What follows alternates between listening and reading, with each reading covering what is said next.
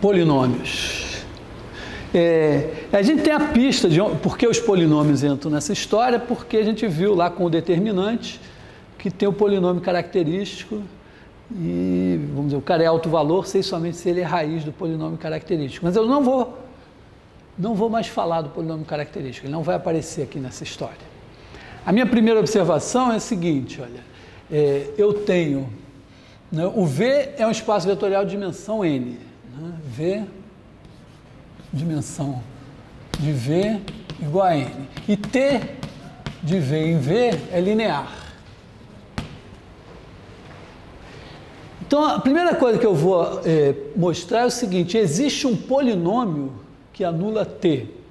Primeiro, o que, que é isso? Né? É, é, faz sentido eu pegar potências de T. Quer dizer, T. Eu posso pegar T ao quadrado. O que, que é T ao quadrado? T ao quadrado é a transformação linear de V em V, que pega o vetor Vzinho e leva em T de T de Vzinho. T de Vzinho está em V, posso aplicar T. Né? E, em geral, T elevado a K mais 1 vai ser a transformação linear de V em V, que leva V em T de T K de V, supondo que isso está definido. Então você vai aplicando, aplicando, são as potências. E, bom, t elevado a zero é igual a identidade. Então, se eu tiver um polinômio, sei lá, a, a, a k, xk mais a zero, isso aqui chamando p de x, eu vou dizer que p de t é igual a ak t elevado a k mais a k menos 1, t elevado a k menos 1, mais a 1t, mais a zero vezes a identidade. Como todas essas são transformações lineares de V em V, eu posso somar. Né? Isso aqui significa que quando eu aplicar isso no vetor U, vai ser esse em U, vamos dizer, eu aplico TK em U, multiplico por AK, aplico TK mais 1 e 1 multiplico isso aqui, tá? depois somo tudo. Então, ó, eu afirmo o seguinte, que existe um polinômio, então, é, proposição, é, existe P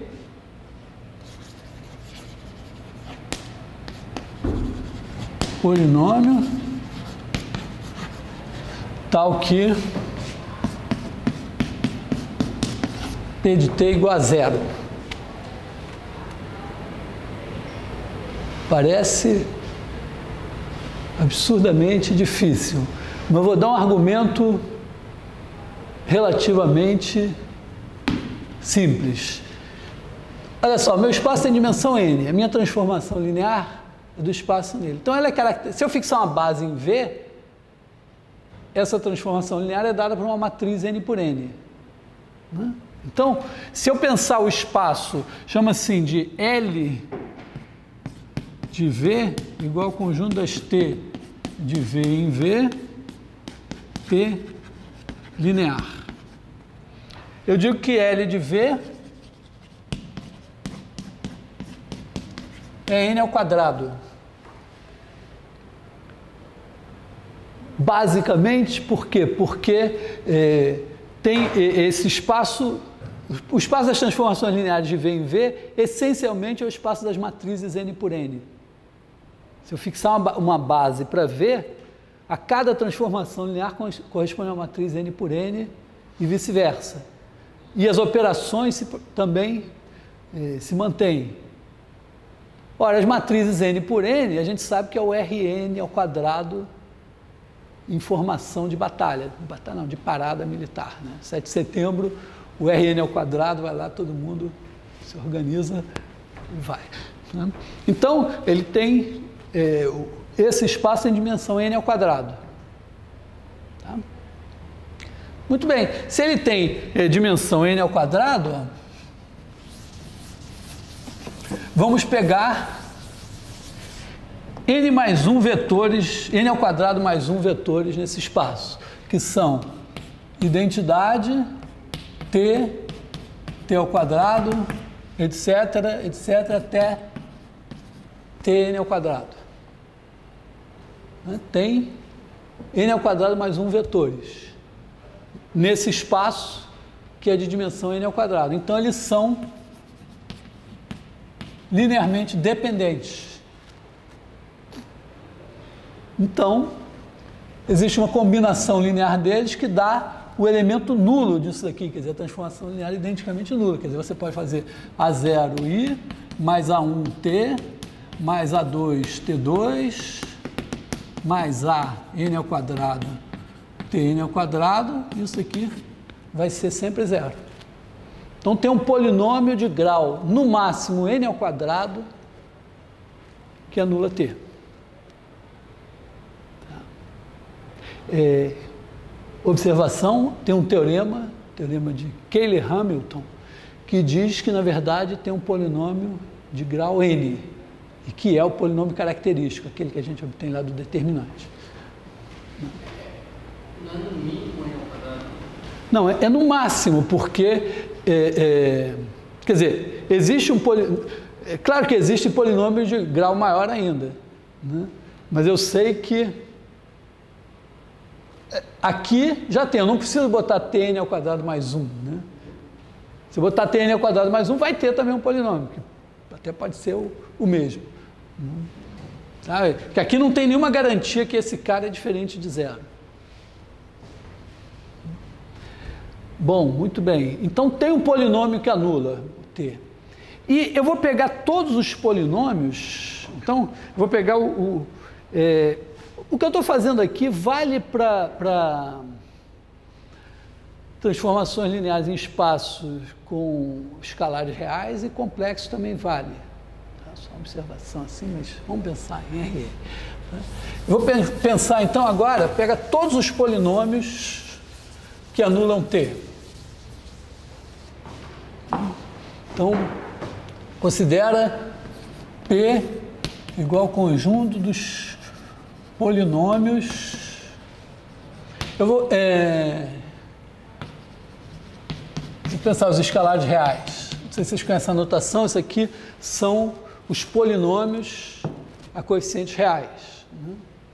Polinômios, vamos botar então, vamos sintetizar um pouco, né? o conjunto dos P em R de x, tais que P de T igual a zero.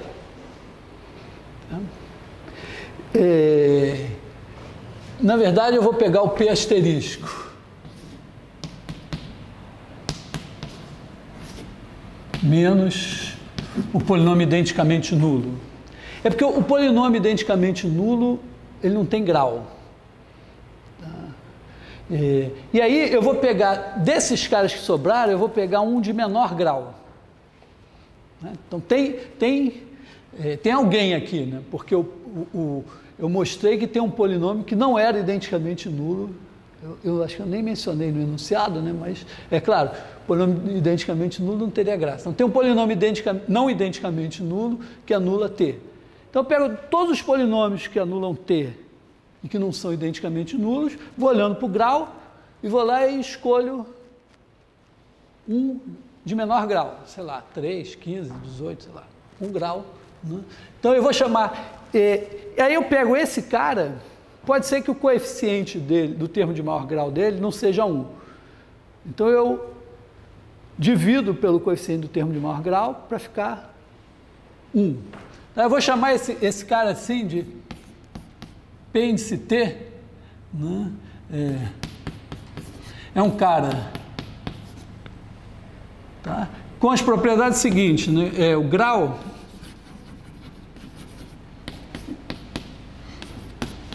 é o menor nesses caras aqui dentre os polinômios que anulam é, T, ele é um dos de menor grau. Pode ser que tenha. Bom, com certeza tem todos os múltiplos dele também satisfazem, né? Mas, segunda coisa, é, pense T é mônico. Mônico é a maneira, é, jargão, né, para dizer que é, tem termo de maior grau igual a 1. Tá? Então, dividir ficou... É...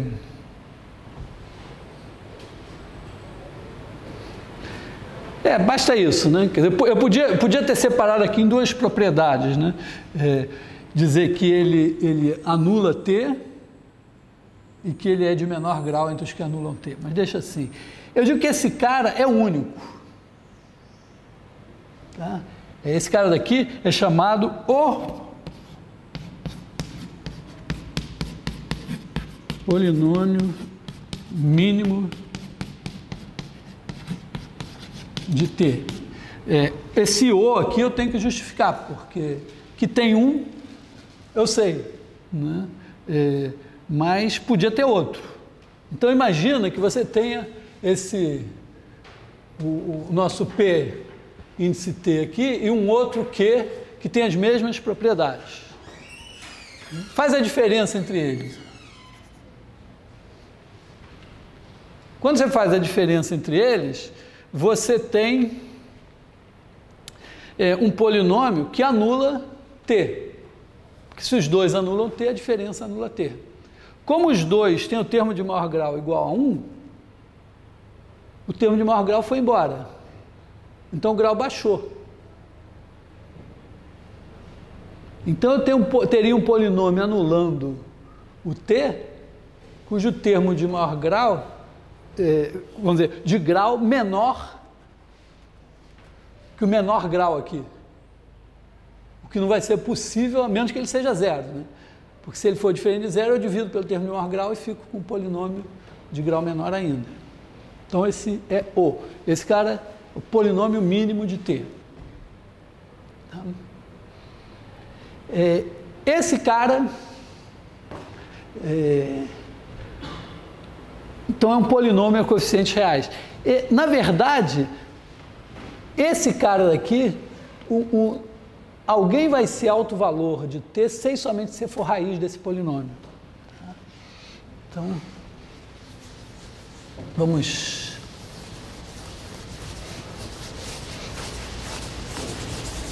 fazer uma observação. É, observação.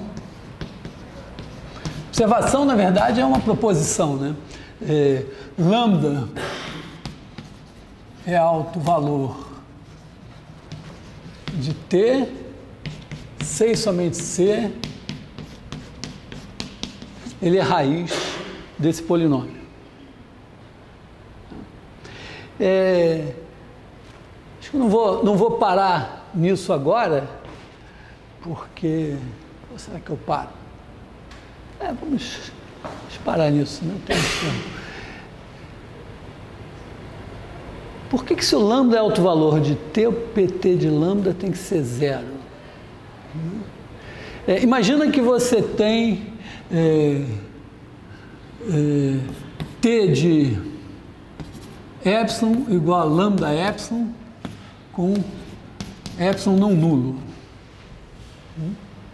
Então, nosso polinômio P índice T de T, a gente sabe que isso aqui é zero.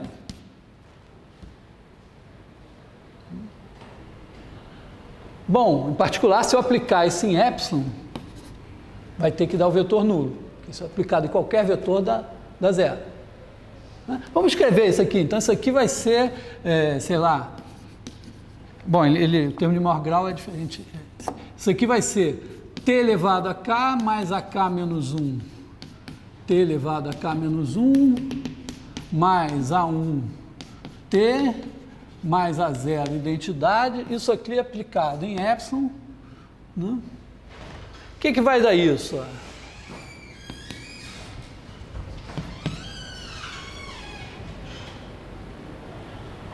Isso aqui vai me dar, como t de epsilon é lambda vezes epsilon, quando eu aplicar t elevado a k em epsilon, vai dar lambda k vezes epsilon.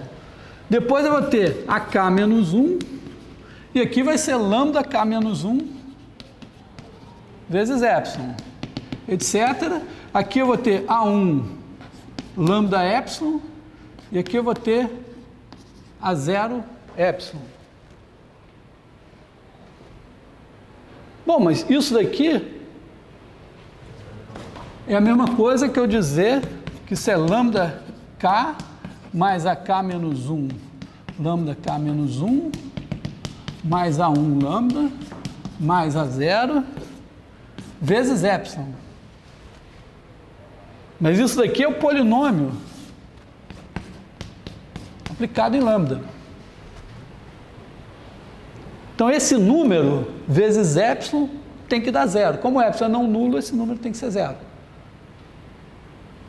Então, acabei de provar que se o lambda é um, um alto valor de t, então o polinômio, na verdade, é, não só esse polinômio mínimo, mas qualquer polinômio que anula t aplicado em lambda vai dar zero, né? Então, P de lambda é zero. Será que vale a recíproca? Será que se PT de lambda é zero, então lambda é um alto valor? Menos evidente, né?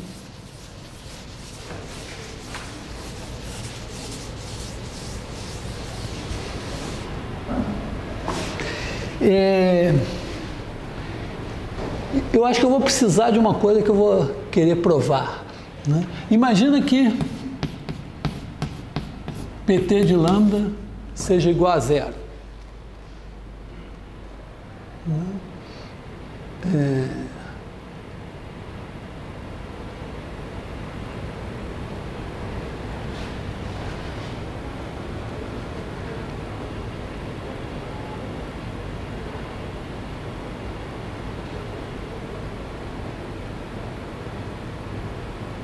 Vou fabricar um, um, um autovetor para esse cara?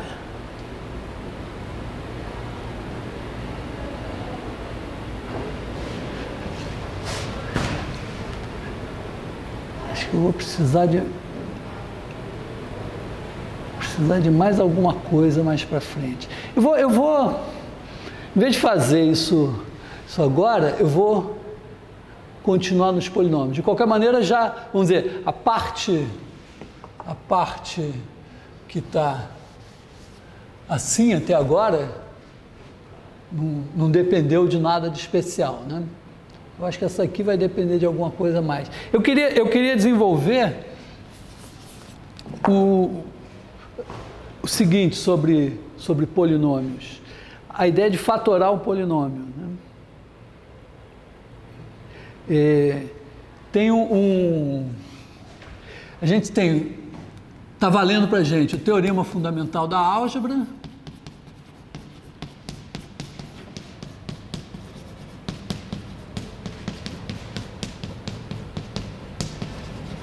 O teorema fundamental da álgebra a gente demonstrou na primeira parte do curso.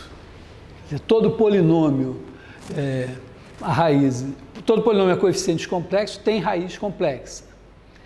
Tem um subproduto do teorema fundamental da álgebra, que é o seguinte, é que todo polinômio é, a coeficiente complexo se fatora como produto de termos do primeiro grau.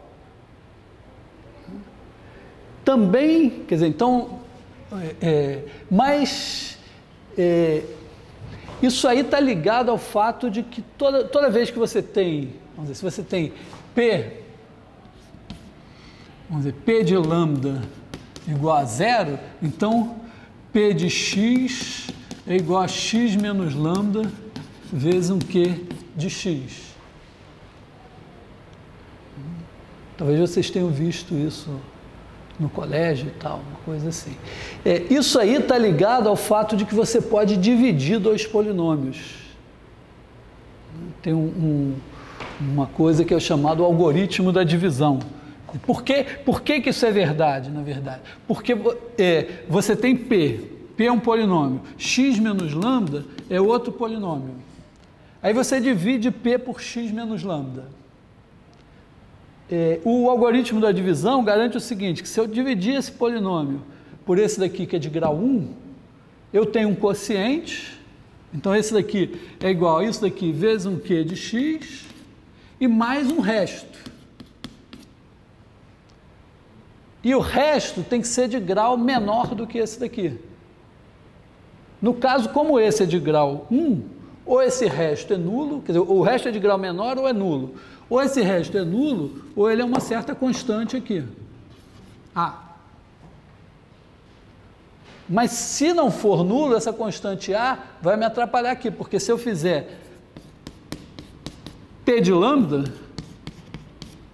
isso é zero. Isso daqui vai dar zero, mas sobra o A. Então o A tem que ser zero. Então isso é, vai me garantir que sempre, é, se eu achar uma raiz lambda, eu posso escrever P de x como x menos lambda vezes um cara de grau menor. E aí eu acho uma raiz para esse, divido de novo, divido então um polinômio é, a coeficientes complexos se fatora com um produto de termos do primeiro grau, que são essencialmente x menos as, as raízes complexas.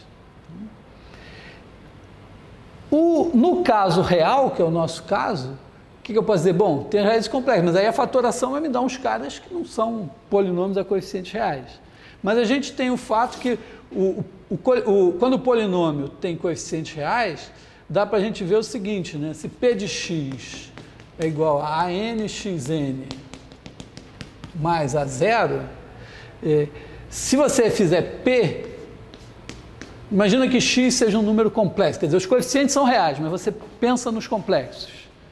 Né? Então, esses caras são reais, mas imagina que o x seja um complexo, você bota o x barra, isso vai dar o quê? Vai me dar o, o conjugado, P do conjugado vai dar a n, x barra n, mais A1, x barra, mais a zero. Só que como esses caras, o conjugado do AN é o próprio AN, porque o AN é real. O conjugado do AN menos 1 é o próprio AN menos 1, porque ele é real. O conjugado do A1 é o conjugado... Então, isso daqui é o conjugado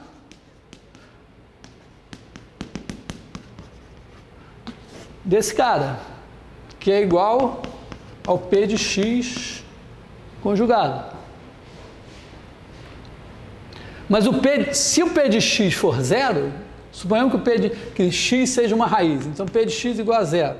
Então P de x barra vai ser o conjugado do P de x. Como esse é zero, isso aqui será zero.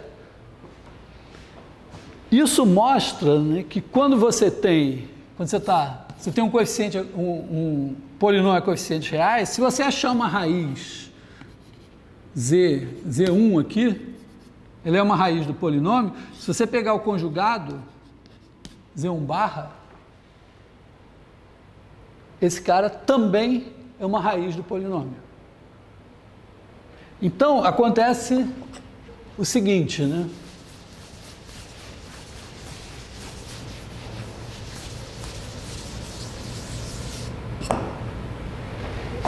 Imagina que o nosso polinômio P igual a, a nxn mais a zero uh, tem coeficientes reais. Como isso aqui, eu posso dizer que os reais estão contidos nos complexos, ele é um polinômio a coeficientes complexos. Então eu posso escrever P posso escrever P de x igual a a n que eu boto em evidência, aí eu vou ter x menos z1, x menos z2, x menos zn, onde esses caras são as raízes. Isso vai ser consequência do algoritmo da divisão. Só que as raízes são duas a duas conjugadas. Então, na verdade, vamos dizer, eu tenho x menos Digamos que a primeira raiz seja A mais BI, essa é uma raiz. Então, com certeza, aqui tem o termo também x menos A menos BI, que é a conjugada. Quando eu multiplicar isso como números complexos, né, isso aqui vai me dar o quê? Vai me dar é, x2, né? depois eu tenho esse vezes x e esse vezes x, quando eu somo, vai dar menos 2ax, tá certo? Ó, aqui eu tenho ax, quer dizer, menos ax, menos bx. Daqui eu tenho menos ax mais bx. Então o bx desapareceu. E depois eu tenho esse vezes esse. Mas esse vezes esse vai me dar é, A2 mais B2. Que é A mais BI vezes A menos BI dá A2 menos BI ao quadrado, vai dar B2. Então, ó, é uma mágica, né? Se você pega o, as raízes, você fatora o polinômio aqui, as raízes complexas aparecem, mas se você agrupar cada raiz com a sua conjugada, dá uma coisa do segundo grau, que só tem coeficientes reais. Então, moral da história, você pode é, fatorar, né? vamos, vamos colocar assim como consequência dessa coisa, né?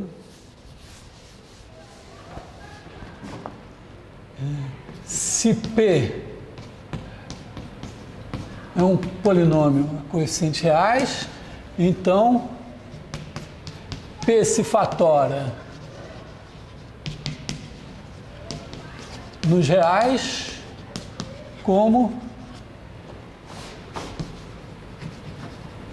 produto de é, polinômios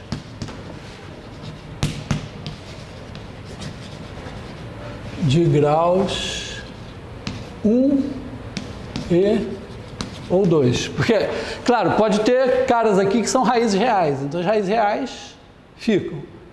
E as raízes complexas, duas a duas, se transformam em coisas do segundo grau. É, isso aqui, desse resultado, eu vou precisar. Mas, é, acho que por via das dúvidas, vou na, na próxima aula discutir também o, o, o algoritmo da divisão para mostrar esse negócio